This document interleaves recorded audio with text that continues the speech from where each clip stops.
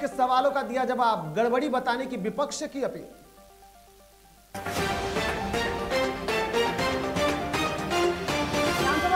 नेता प्रतिपक्ष ने सीएम पर साधा निशाना। कोरोना काल के दौरान गायब रहे सीएम। किसान आंदोलन पर भी नहीं दी प्रतिक्रिया।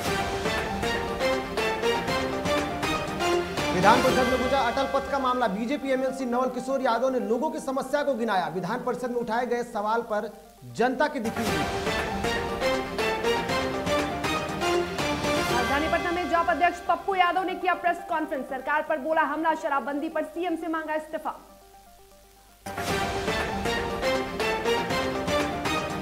और झारखंड में बिचौलिए लगा रहे सरकारी योजनाओं में पलिता मृतकों के नाम पर आवास आवंटित कर उठा रहे पैसा। सीएम के पास पहुँचा मामला। नमस्कार आप देख रहे हैं डीटीवी भारत आपके साथ मैं हूँ शर्मिला चौहान। तो बात अब खबरों की करेंगे और बढ़ेंगे आगे। बिहार विधानसभा के बजट सत्र के तीसरे दिन राज्यपाल के अभिभाषण पर चर्चा के दौरान सीएम नीतीश कुमार ने विपक्ष के सवालों का जवाब दिया। इस दौरान सीएम नीतीश कुमार ने विपक्ष से अपील करते हुए कहा कि अगर कभी भी गड़बड़ी देखे तो खुद सूचित करे और इसके लिए सरकार बेहतर कदम उठाएगी। इसके साथ ही सीएम नीतीश कुमार ने सरकार की विकास कार्यों और उपलब्धियों को भी विपक्ष के सामने सदन में रखा। ऐसी परिस्थिति में भी हम लोग काम करने की कोशिश कर रहे हैं। लेकिन आप समझ लीजिए, औसत विकास दर। और बजट का आकार क्या था भाई, चार पाँच में? जब हम लोगों को काम करने का मौका मिला है तो बजट का आकार था तेईस हज़ार आठ सौ पचासी करोड़। और अब बढ़ते बढ़ते बढ़ते बढ़ते अब हो गया दो लाख अठारह हज़ार करोड़ का।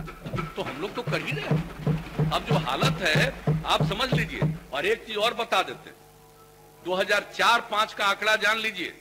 आंकड़े कहाँ से मिलते हमको नहीं मालूम है। जो सही आंकड़े हैं उसको जान लीजिए।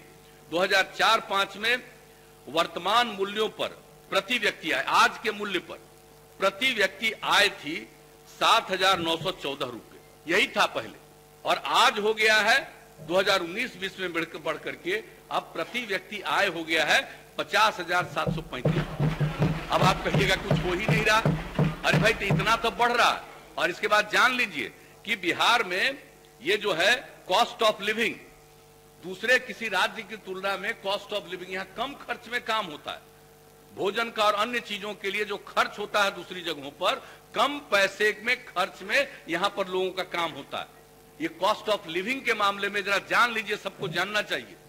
बिहार की एक खासियत है, हम अभी यहाँ पहुँचे हैं, तब भी आप समझ लीजिए, कोई भूख से अब नहीं मर रहा। कोई ऐसी स्थिति नहीं है, जाकर के देख लीजिए गाँव एक एक गाँव में कभी हम लोग पहले घूमते थे अपने क्षेत्र में और एक साथ अगर पचास सौ आदमी थे तो कहीं कोई गाँव की स्थिति रहती थी कि लोगों को एक जगह खिला सके?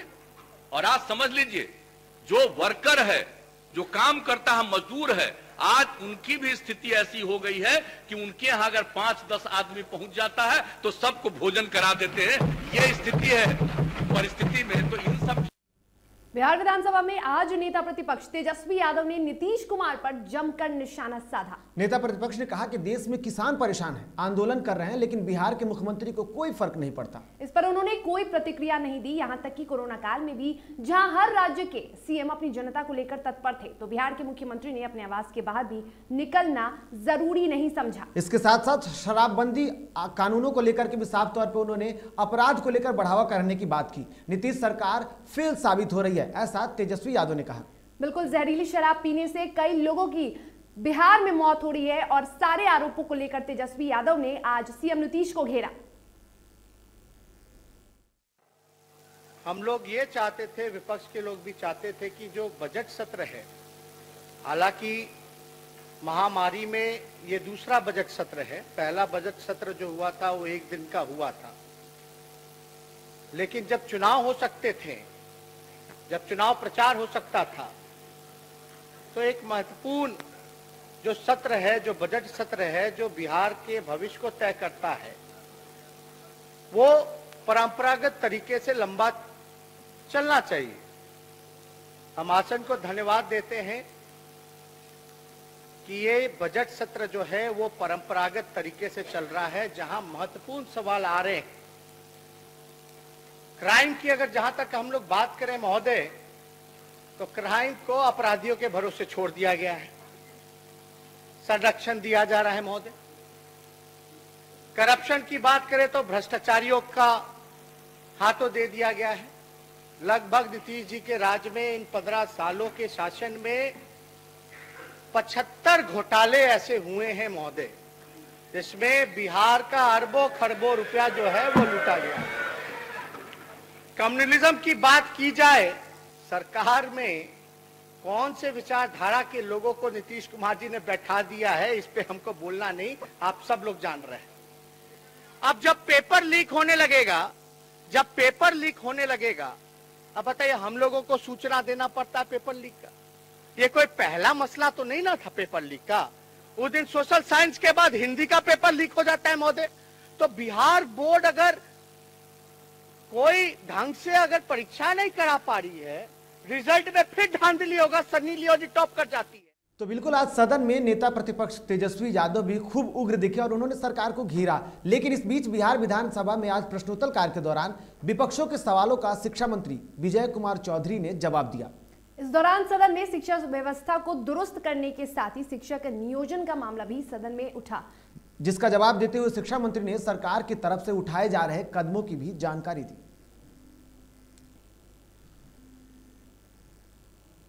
तो आपको बता दूँ कि शिक्षा मंत्री ने आज कई सारे सवालों के जवाब दिए। इस दौरान सदन में जिस तरीके से पेपर लीक का मामला था उस पर भी जवाब दिया। लेकिन इसके साथ साथ जिस तरीके से हालात हैं उसके ऊपर भी चर्चा की। शर्मिला। बिल्कुल नेता प्रतिपक्ष तेजस्वी यादव ने आज विधानसभा में शिक्षा मंत्री को भी घेरा और शिक्षा को लेकर कई सवाल उठाए।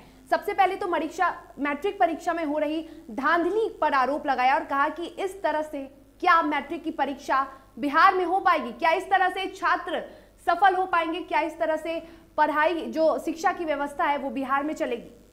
बिल्कुल इसके साथ साथ अगर बात नियोजित शिक्षकों की करे मिला तो जिस तरीके से शिक्षकों के इतने दिनों से जो वेतनमान रुके हुए हैं उसको लेकर के भी आज सदन में सवाल जवाब हुआ जिसका शिक्षा मंत्री को जवाब देना पड़ा। वही बात अगर आगे करें तो सदन शुरू होने से पहले संसदीय कार्य मंत्री श्रवण कुमार ने नेता प्रतिपक्ष तेजस्वी यादव पर हमला बोला। उन्होंने तेजस्वी यादव के द्वारा मुख्यमंत्री पर लगाए गए आरोप पर तंज कसते हुए कहा कि अभी प्रतिपक्ष के नेता को बहुत कुछ सीखने की ज़रूरत है। उन्होंने कहा कि किसी भी बात को अमर्यादित और मर्यादे में रहकर ही बात करनी चाहिए न की अमर्यादित ढंग से विरोध करना। यह किसी भी हाल में उचित नहीं है। उनका आरोप निराधार है बेबुनियाद है। उनका आरोप मर्यादा को तार तार करने वाला है और जो जनप्रतिनिधि मर्यादा का पालन नहीं करता है, मर्यादा को तार तार करता है, संसदीय लोकतंत्र में उनके लिए कोई सम्मान किसी के प्रति नहीं है। मैं समझता हूँ वैसे लोग को थोड़ा और संसदीय लोकतंत्र की रक्षा के लिए, संविधान की रक्षा के लिए थोड़ा और काम करना चाहिए। सीखने की भी ज़रूरत है? बिल्कुल सीखने की ज़रूरत है। जो व्यक्ति किसी मर्यादा को तार तार कर रहा हो वैसे व्यक्ति को तो कुछ और समझने की ज़रूरत है जानने की ज़रूरत अनट्रेंड नेता प्रतिपक्ष मिले हैं क्या आप लोग? लग रहा है।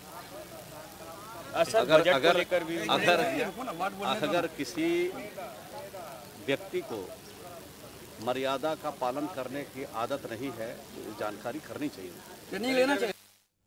बिहार विधानमंडल के बजट सत्र के तीसरे दिन, सत्र की कार्यवाही के पहले ही आरजेडी ने अपने मंसूबे को जग ज़ाहिर कर दिया।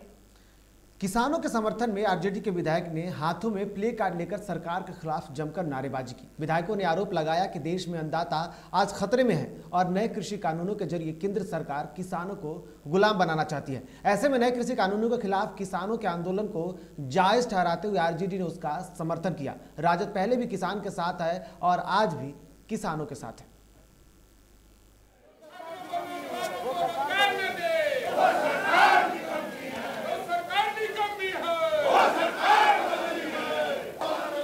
इस देश का अन्नदाता किसान है और किसान पूरे देश में आंदोलित है। किसानों पर झूठी मुकदमा की जा रही है। उनकी जो मांग है, उसको पूरा नहीं किया जा रहा है। ये सरकार जो लोग भी सरकार के खिलाफ में, सरकार के कमियों को दर्शाता है, चाहे वो नेता हो या पत्रकार हो, सब पर लाठी चार्ज किया जा रहा है। फोटोग्राफरों पर लाठीचार्ज घसीट कर मारा जा रहा है। जो सरकार लोकतंत्र पर विश्वास नहीं करती है, उस सरकार को एक मिनट भी सरकार में बने रहने का कोई अधिकार नहीं है। इसलिए आज किसानों के मांगों को लेकर जो अन्नदाता किसान हैं, हम आज प्रोटेस्ट कर रहे हैं कि किसानों की मांग पूरी होनी चाहिए। इस, जब शरीर का रीढ़ ही नहीं रहेगा देश का रीढ़ किसान है और किसान का रीढ़ जब टूट जाएगा तो देश अपने आप खत्म हो जाएगा। इसलिए सरकार में लोकतंत्र खतरे में है और चारों स्तंभ हम लोग का हिल चुका है। इसलिए एक बार फिर आज़ादी की लड़ाई हमें हम हमको आपको लड़ना पड़ेगा। तो बिल्कुल बजट सत्र के दौरान सदन चल रहा है, इसमें विधान परिषद और विधानसभा दोनों चल रहा है। लेकिन विधानसभा में जिस तरीके से स्थिति दिखी, अंदर में भी हलचल था तो बाहर भी दिखा। और भाई वीरेंद्र ने जिस तरीके से अन्नदाताओं के समर्थन में अपनी बातें कही, वो कहीं ना कहीं विपक्ष को मज़बूत करता है और सरकार को कमज़ोर करने की कोशिश कर रहा है। लेकिन इसी बीच जहाँ एक तरफ़ विधान सभा चल रहा था, दूसरी तरफ़ विधान परिषद भी चल रहा है। विधान परिषद के बजट सत्र के तीसरे दिन विधान परिषद में पटना के नवनिर्मित अटल पथ से होने वाली समस्या सदन में गूंजी। इस दौरान बीजेपी एमएलसी नौल किशोर यादव और दिलीप जायसवाल ने प्रश्नकाल के दौरान सवाल उठाया कि नवनिर्मित अटल पथ से अलग पथ और उसके साथ साथ आसपास के इलाके में रहने वाले लोगों को काफ़ी समस्याओं का सामना करना पड़ रहा है। बिल्कुल उन्होंने कहा कि यहाँ के आबादी को रोड कनेक्टिविटी नहीं मिलने के कारण काफ़ी परेशानी हो रही है जिसके बाद बिहार सरकार के पथ निर्माण मंत्री नितिन नवीन ने जवाब देते हुए कहा कि अंडरपास को लेकर बातचीत चल रही है तकनीकी जानकारी ली जा रही है और जल्द ही लोगों को इसकी सुविधा भी दे दी जाएगी। तो बिल्कुल आपको बता दूँ कि आज खुद पथ निर्माण मंत्री और उसके साथ साथ बीजेपी के एमएलसी के बीच तकरार दिखी और उन्होंने जिस तरीके से वहाँ की स्थितियों को देखा उसके बाद सवाल जवाब का दौर चला और प्रश्नकाल के दौरान मंत्री ने आश्वासन दिया है कि जल्द ही वहाँ की स्थितियों को ठीक कर लिया जाएगा। जाप सुप्रीमो पप्पू यादव ने राजधानी पटना में प्रेस कॉन्फ्रेंस कर सरकार को जमकर घेरा। पप्पू यादव ने नीतीश सरकार को अंधे और बहरे की सरकार बताया। शराबबंदी को लेकर जाप सुप्रीमो ने कहा कि अधिकारियों और नेताओं की मिलीभगत से पूरे बिहार में शराब की बिक्री हो रही है। तो वहीं शराब बिक्री के कारण बिहार में अपराध चरम पर है और इसी के साथ पप्पू यादव ने यह भी कहा कि सभी नेताओं की भी जाँच होनी चाहिए। सभी शराब पीते हैं शराबबंदी के फेल होने पर सीएम से उन्होंने इस्तीफे की भी मांग की। क्या आपने वो दोनों व्यापारी के आधार पर बिहार में किसी को चिन्हित किया, एफआईआर लॉन्च की बिहार में किसी के आधार पर। जब 200-400 गाड़ी डेली आती थी तो उनके पैसे भी सीज होने चाहिए थे। आपने किया, उनके अकाउंट का डिक्लेयर किया। उनके आने के बाद बिहार में किन किन को सामग्री मिलता था, क्या उसको एफआईआर दर्ज हुई? बिहार का शराब, चाहे मुजफ्फरपुर में सात लोग मरे, दो लोगों को गायब कर दी गई। गोपालगंज में मरे, इसके पहले सासा, सासाराम में मरे। लगातार आपको आश्चर्य लगेगा कि बिहार का जो शराब का बिज़नेस है, उसमें सत्ता पक्ष और विपक्ष के एमएलए एमपी मंत्री, संतरी, प्रमुख नेताओं की का गोदाम, उसकी पैसे और उसकी पूरी इधर राजधानी पटना में राजद कार्यालय में गढ़से महाराज की जयंती समारोह मनाया गया।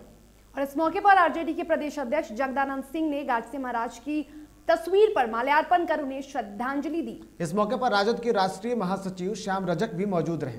तो दूसरी तरफ़ हम प्रमुख जीतन राम मांझी ने भी प्रदेश कार्यालय में संत गाडगे महाराज की तस्वीर पर माल्यार्पण कर उन्हें श्रद्धांजलि अर्पित की। इस दौरान जीतन राम मांझी ने कहा कि संत गाडगे महाराज ने शिक्षा और सफ़ाई को लेकर जो संदेश दिया उसे हमें प्रेरणा मिलती है और इसे अपने व्यक्तित्व और अपने जीवन में धारण करने की ज़रूरत है। तो बिल्कुल आज पटना में गाडगे महाराज की जयंती समारोह को मनाया गया और उसमें आरजेडी के साथ साथ हम के भी जो प्रमुख है जीतन राम मांझी ने भी उन्हें भावभीनी श्रद्धांजलि दी। खबर गया से है जहाँ डीटीवी भारत के खबर का असर हुआ है। यह खबर दिखाए जाने के बाद मामले में पुलिस ने कार्रवाई करते हुए आरोपियों की गिरफ्तारी की असर मिला बिल्कुल हमने आपको पहले ही दिखाया था एक दिन पहले यानी हमने सोमवार को आपको दिखाया था कि किस तरह गया में स्कूली छात्रा के साथ छेड़खानी का वीडियो वायरल हुआ था जिसके बाद डी टीवी भारत ने इस खबर को प्रमुखता से दिखाया था और अब निर्भय बिल्कुल हरकत में पुलिस ने उसके बाद हरकत में पुलिस ने तीन आरोपियों की पहचान कर उसकी गिरफ्तारी कर ली है। वही मामले को लेकर एसपी आदित्य कुमार ने बताया कि मीडिया से मिली खबरों के मुताबिक तत्काल कार्रवाई के आदेश दिए जिसके बाद फतेहपुर पुलिस ने तीन आरोपियों को गिरफ़्तार कर लिया। तो यह खबर बड़ी कही जा सकती है शर्मिला जिस तरीके से स्थिति बिल्कुल। जिस तरह से वीडियो वायरल हुआ था और डी भारत ने इस खबर को प्रमुखता से दिखाई थी कि कैसे मंचले जो थे वो युवती के साथ छेड़खानी कर रहे थे और इसे सोशल मीडिया पर वायरल कर दिया था और इस खबर के बाद अब पुलिस ने इसे संज्ञान में ले लिया है। जानकारी प्राप्त हुई थी, जिसका सत्यापन एवं कराया गया तो उसमें जो पीड़िता है उनको हम लोगों ने आइडेंटिफाई किया। उन्होंने एक लिखित में आवेदन दिया, एफआईआर दी, जिन लोगों के द्वारा बदतमीजी की गई है। उसमें हम लोगों ने तुरंत कार्रवाई करते हुए तीन लोगों की अरेस्टिंग करी है। उसमें जो थी वो दो लड़कियाँ थी एक साथ दो लड़कियाँ एक साथ गई थी। उसमें तीन लड़के थे, एक ऑटो में, जिसमें एक ऑटो था जिसमें गई थी ऑटो भी रिकवर किया गया है। उसमें तीन लड़के थे, एक छोटू कुमार, एक रोहित गोस्वामी और एक श्रवण कुमार। ये तीनों की गिरफ्तारी हुई है चौबीस घंटे के अंदर। बाकी दो लोग और इसमें अन्य थे, जो वायरल करने वाले थे एवं जो वीडियो में जिनकी फ़ोटो आ रही थी, उन लोगों को भी चिन्हित कर लिया गया उनकी भी अरेस्टिंग के लिए हम लोगों के लिए कार्य कर रही है इधर पटना सिटी के आलमगंज थाना क्षेत्र में मीना बाज़ार इलाके में बीती रात अपराधियों द्वारा पूजा सामग्री की एक दुकान में फायरिंग की गई। जिसके बाद इस फायरिंग में एक स्टाफ घायल हो गया जिसको लेकर आज व्यवसायी संघ ने सिटी डीएसपी अमित शरण से मिलकर व्यवसायियों की सुरक्षा की गुहार लगाई। तो बिल्कुल आपको बता दूँ कि पटना सिटी में डरे हुए जिस तरीके से व्यवसायी हैं वो डरे हुए हैं और उन्होंने कहा कि मीना बाज़ार इलाके में असामाजिक तत्वों के द्वारा जमावड़ा लगा रहता है। जिसके कारण असामाजिक तत्वों द्वारा व्यवसायिक वर्ग को निशाना बनाया जाता है। शर्मिला वहाँ की स्थितियों को लेकर के देखा जाए तो जिस तरीके से वहाँ के हालात है उसके बाद क्या कुछ हुआ? बिल्कुल ये व्यवसायी भी आम नहीं थे ये बीजेपी के मंडल अध्यक्ष थे और इनके दुकान पे फायरिंग की की गई थी। हालाँकि उस दौरान वो मौजूद नहीं थे और इस दौरान एक कर्मी को गोली लग गई थी। साहब बोले हैं कि कल एक मीटिंग रखे हैं व्यवसायियों के बीच में। और पूरा बोले हैं कि हम मंडी का सुरक्षा का पूरा इंतज़ाम देते हैं आप उसे वादा करते हैं। यह हमारे मंडी में आजकल कुछ समय से कुछ असमाजिक तत्व जो शराब का जो माफिया है या शराब बेचने वाले लोग हैं या स्मैकर बेचने वाले हैं उनका थोड़ा भय बना हुआ है। और वो लोग ये असमाजिक तत्वों के द्वारा ये मंडी में भय दिखाना चाहते हैं। इस भय को लोग देखते हुए हम लोग अपने बड़े पदाधिकारी से मिले हैं जो उन्होंने हमको आश्वासन दिया है कि ठीक है कल बैठक करके हम आपको मंडी को सुरक्षा की व्यवस्था करते हैं। अपराधी की अभी तक पहचान हो पाई है? नहीं अपराधी की कोई पहचान नहीं हो पाया। क्या लग रहा है कि अब इस तरह की जो- जो सरियाम घटना हुई है व्यवसाय वर्ग में काफ़ी डर और भय समाया ये इस तरह घटना से मेन देखिए वो लोग का मेन मकसद यही था कि व्यवसायियों के बीच में भय दिखाना।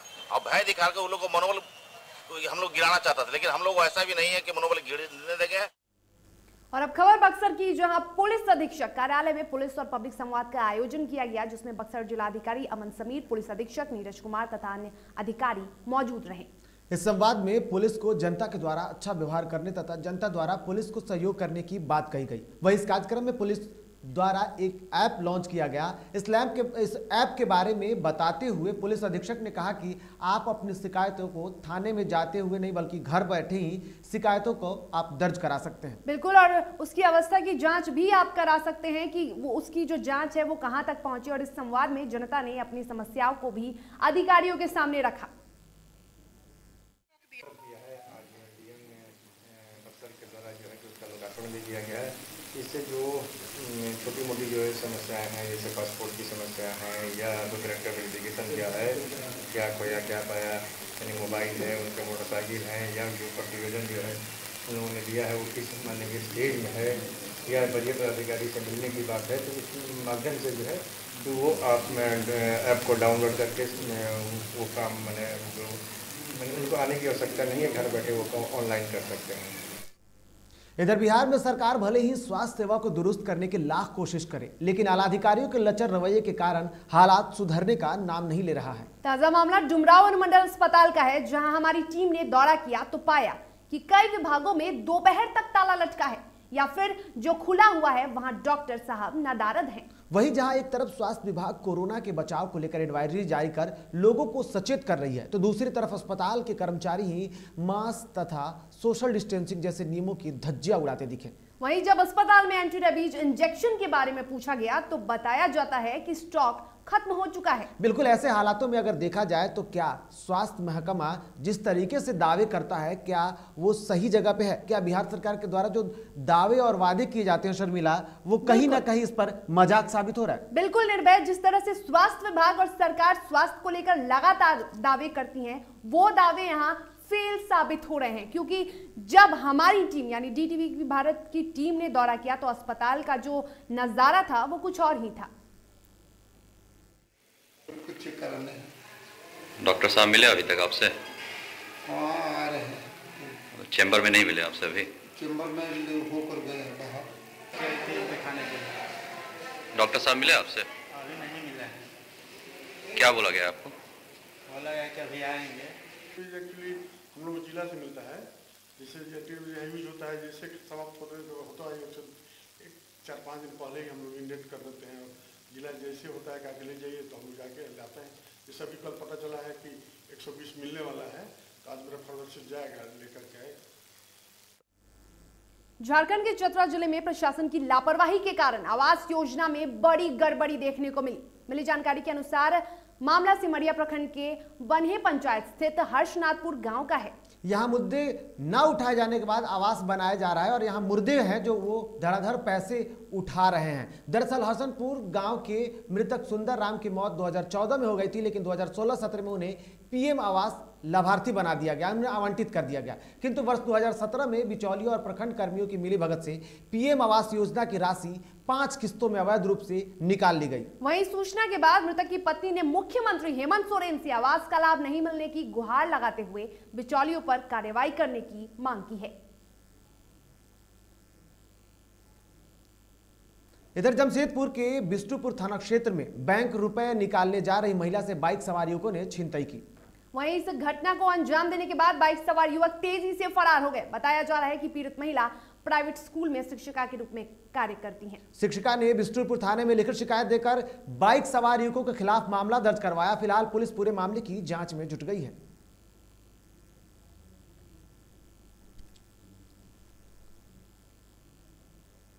तो बिल्कुल आप देख सकते हैं किस तरीके से यहाँ स्थिति ऐसी बिगड़ती जा रही है, जहाँ जमशेदपुर में बाइक सवार अपराधियों ने छिनतई की घटना को अंजाम दिया है। तो फ़िलहाल खबरों में इतना ही। हमें दीजिए इजाज़त और आप देखते रहिए तमाम बड़ी खबरों के लिए। डी भारत। नमस्कार।